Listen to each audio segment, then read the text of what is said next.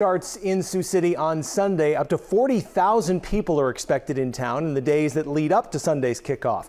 With the added traffic, city officials have planned ahead to make sure cell phone service is available. They've already contacted cell phone providers. They're hopeful everyone will be covered by the time the RAGBRAI festivities get into full swing tomorrow.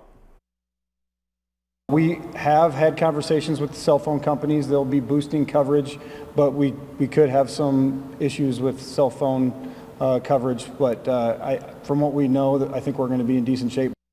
If you need to contact law enforcement during RAGBRAI and you don't have service, you also have the option to send a text to 911. The Woodbury County Communications Center will accept those texts throughout the weekend. Additionally, law enforcers encourage everyone to download the Smart 911 app. That sends users alerts whenever there's danger in their area. There's a QR code to download that app.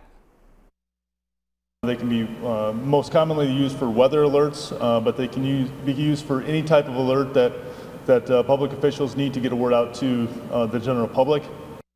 Additionally, the app will provide alerts for RAGBRAI riders throughout the entire journey across the state.